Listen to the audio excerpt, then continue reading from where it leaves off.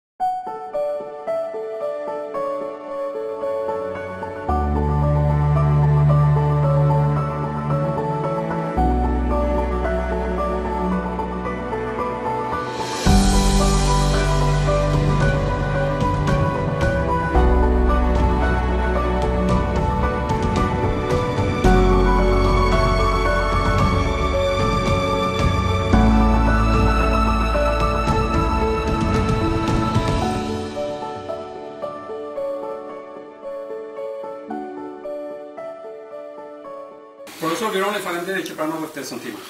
Edhe unë ju falenderoj që tregoni interes për sportin. Po, pikërisht në tematikën e sportit, ju jeni një sportist i famshëm në Republikën e Shqipërisë, njiheni jo vetëm për kontributin tuaj në sport, por edhe në kontributin tuaj në Komitetin Olimpik Shqiptar. Si dhe kur nisi marrëdhënia juaj me Komitetin Olimpik Shqiptar? Me të mbaruar zgjedhjet e përgjithshme, unë mendova se me të vërtetë do të funksiononte normale në këtë komitet. Në atë komitet erdhën njerëz që mendonin, siç thotë, nuk e di ku e kam dëgjuar këtë shprehje, kap ça të kapësh, më fal njerëz që donin vetëm të përfitonin. nga Komiteti Olimpik. Dhe u ndodha para një, mund të themi një përplasje që ishte ligjore.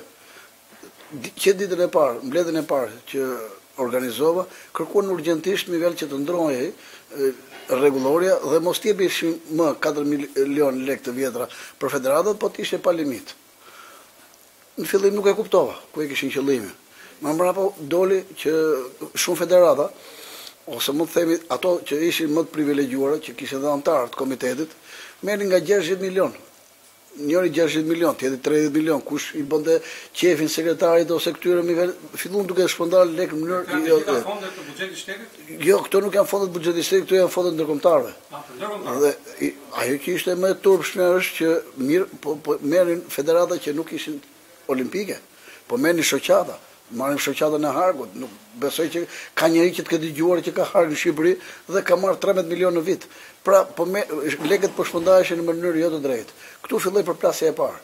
E dyta më fal sepse unë kërkova me insistim që sportistët të merrnin 30 dollarë dietë në lojërat olimpike dhe mesdhetare dhe për habi më fal nuk kishim lekë për t'i dhënë sportistëve dhe ajo çka ndodhi më e turpshme është që vërtet nuk kishin lekë për sportistët po nga krahu tjetër më fal sa u kthyem nga lojërat mesdhetare i jep japin shpërblim sport punonjësve të administratës një turp i jashtëzakonshëm si mund t'i japësh lekë ti dhe mos t'i japësh më minimale një sportisti pra sportisti kërkon lekët më minimale A më kujtohet Lojërat Olimpike kur sot më thonë sportistë e Brazilit që neve nuk kemi marrë asnjë kokërr leku. Kur normalisht unë i kam dhënë jo urdhër, po i kam dhënë dhe nga lekët e mia i kam thënë që jepini lek urgjentisht sportistëve mos i lëni pa lek. Dhe më kthyen mbrapsht dhe thanë kanë ardhur lekët dhe do t'i japim se s'bën. Kur nga krahu tjetër sportistët thonë që s'kemi marrë lek. Çka është më e turpshme po prapë më fal kemi sportistë më fal që kanë dalë në lojërat mesdhetare vend të parë. Dhe nuk paguhen këta sportistë, por përkundrazi, shpërblehen punonjësit, rrogat majme, që nuk e di me fjalë se si mund t'i shpërndash. Pra këtu filloi një divergjencë me fjalë që ishte e jashtëzakonshme. Unë u bëra pengesë për dhënien e këtyre lekëve, këta e e kuptonin që kjo pengesë duhet eliminuar patjetër dhe gjetën mënyra nga më të ndryshme, shpikën dhe kanë arritur deri aty sa normal me fjalë që të shkelin statutin, ligjin, çdo pikë me fjalë të mund të themi të kushtetutës, çdo gjë me fjalë ata e përmbysën vetëm me një qëllim, për të arritur me fjalë mund të themi atë që donin ata. Po të, të rikthehemi disa vite më parë, si erdhi zgjedhja juaj në krye të Komitetit Olimpik Shqiptar? Të rikthehemi atëherë kur ju u zgjodhët. Zgjedhja ime ka qenë më normale, Ka qenë normale për arsye sepse unë vija nga sporti. Nga isha trembëdhjetë vjet kampion. Për çfarë viti bëhet fjalë? Në dy mijë e trembëdhjetë. Dy mijë e trembëdhjetë. Në dy mijë e trembëdhjetë, se thashë se për sportin. Kryetari i Komitetit Olimpik. Normal që unë vija nga sporti, vija si drejtues i një federate, kisha një kontribut të jashtëzakonshëm në sport dhe me me të gjithë sport sportet, me fjalë federatat unë e kisha në kushte normale që më njihnin dhe i njihja.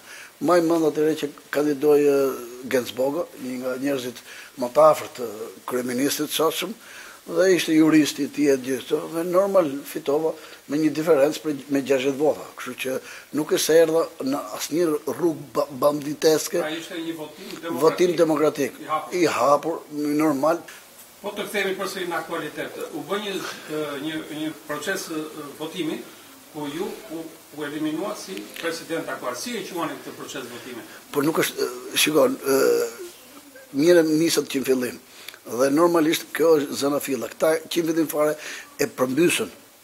Me fjalë mund të themi statutin, përmbysën ligjin, përmbysën gjithçka, donin vetëm të kapnin ça të kapnin, kap ça të kapësh dhe arritën deri aty sa me fjalë mos të bëjë ky institucion t'i hum t'i humbasi vlera. Ky institucion 4 vjet mos të bëjë auditimin dhe vetëm në 4 vjet ka bërë vetëm një auditim dhe këtë auditim që e ka bërë me fjalë e ka bërë me fjalë ditën e asamblesë, pa ia shpërndarë fare anëtarëve. Pra e kuptoni se ça po bëjnë këta njerëz. Dhe e kuptoni me fjalë, jo se do të ikja unë, se unë normalisht i kam plotësuar të dy mandatet dhe automatikisht unë jam i ikur. Po, po, por unë procesi procesi zgjedhor duhet të ishte brenda ligjit, në mënyrë që ky institucion të gjente me të vërtetë vetveten dhe të rregullohej si çdo institucion tjetër. Por nuk mund t'i vësh flakën një institucioni. Këta janë një bandë. Edhe them me gjithë shpirt bandë, për arsye sepse ça bëjnë bandat? Bandat me fjalë arrijnë me fjalë të vrasin njerëz ose të të vjedhin nëpër mund të themi dyqane ose ça mund të vjedhin të ndryshme, kurse këta kanë vrarë një institucion, këta e kanë përmbysur, e kanë shkatërruar një institucion. Është shumë zor për ta ngritur këtë institucion ose për t'i dhënë emrin që e meriton. Pse? Sepse këta edhe në momentet më decizive, që është tashti për sa i përket ndryshimeve statutore dhe dhe zgjedhje, këta po përdorin mënyra më të poshtëra. Pse, vetëm e vetëm që të po prap të të jenë këta me një fjalë që do e drejtojnë dhe po që se do e drejtojnë po këta njerëz nuk ka fituar por dhe në qoftë se do ndërrohen njerëzit do të jetë pa prap i njëjti e njëjta situatë pse e them e njëjta situatë sepse çdo veprim që bëhet në mënyrë të jashtëligjshme çdo veprim këtë do pjelli Nuk mund të pjelli një të mirë. Do të pjelli vetëm një, mund të themi një, një, një institucion që do të jetë formal institucion, por përkundra që do i shërbej vetëm një kaste që sot me një fjalë kemi deputetë për ta bërë atë mbledhje të jashtëligjshme që thoni juve, ka, janë fut deputetë, janë fut ministra, janë fut gjithë, kanë organizuar këtë mbledhje në mënyrën më të turpshme. Kur dihet që urdhri i ministres është që nuk lejohet mbi dhjetë veta. Unë bëra dy letra në kohë pandemie, unë bëra dy letra dhe dhe ministria e sportit, me një fjalë që është e arsimit dhe sportit, tha nuk mundet ta organizoni një mbledhje të tillë. Po dhe nga bashkia na erdhin që nuk mund ta organizoni, këta e organizuan. Këta janë me një fjalë brenda kishte ministra brenda me një fjalë në të gjitha mënyrat vetëm e vetëm për ta për ta poshtëruar këtë institucion. dhe kanë dhënë, mund të themi një një figurë mjaft të turpshme, një figurë në nivel që do të do t'i kushtojë gjithë jetën Komitetit Olimpik. Sipas jush, cili është ai ilaçi që do ta rregullonte pra ligji? Përveç ligjit nuk mund të rregullojë asgjë tjetër. Do dalë unë jam i mirë, do dalë ai tjetri jam i mirë, asnjëri nuk është i mirë. Janë rregullat me një fjalë, janë rregullat që duhet zbatuar se s'bën. Për të rregulluar një institucion, për të rregulluar me një fjalë mund të themi atë që i ka munguar sportit, duhet të bëjë vetëm mbas ligjit dhe rregullave. Po Komiteti Olimpik Botëror a mund të ndërhyjë në këtë rast sipas jush? Ai ai nuk do telashe. Ai nuk do telashe dhe mendon se vetëm në një mënyrë me një fjalë mund të themi gjysmë me një fjalë indiferente mund mund me një fjalë që i, i, i shmanget përgjegjësive, por njëkohësisht edhe thotë që ta zgjidhin vetë. Dhe ajo që është me një fjalë po prap pa, dje mora vesh që paskan dhënë një deklaratë gjithë federatave, që është marrë vendimi në gjykatë me një fjalë për pro mbledhje. Mbledhjes. Kjo është po prap një mund të themi një lajthitje e atij zot presidenti që ka dhënë një deklaratë të tillë, siç ka lajthitur ka kaq kohë. Ky lloj njeri, sepse normalisht gjoja është i ligjit, por po t'i shofësh të gjitha vendimet që janë marrë në Komitet Olimpik, që sot kanë dhe firmën e tij, që është ka dy procese në prokurori, me një fjalë, është i jashtëligjshëm në të gjitha ato veprime. Dhe njerëzit e tij deklarojnë në televizor se nuk nuk i bindemi kësaj paçavure, i thonë paçavure statutit. Pra atë statut po ky njeri e ka bërë. Statutin e ka bërë ky zëvendëspresident dhe normalisht këta kujt nuk i binden. Ai statut ka vajt në gjykat. Po ky njeri i ka çuar në gjykat. Dhe këta nuk i binden, këta kujtojnë se ore nuk do do bëjmë ça të duam. Pse kemi marr firmat e dy të tretave, po dy të tretat mund të vendosin dhe me djeg komitetin ose shtetin, do e djegin. Ka një rregull, ka një ligj që e ka miratuar. Çdo vendim i marrë, edhe sikur të merr e para nuk ishte nga dy të tretat, por edhe sikur të jetë nga dy të tretat, do të jetë në përputhje edhe me me ligjin e sportit. Qoftë se ata duan të bëjnë një djegje, nuk mund t'i lejë njeri të bëjnë djegje.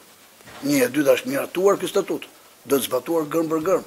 Me minutën që ti lëviz nga statuti, minutën që ti e shkel këtë statut, ti je i jashtëligjshëm. Dhe në këtë moment ti nuk mund të jesh më institucion.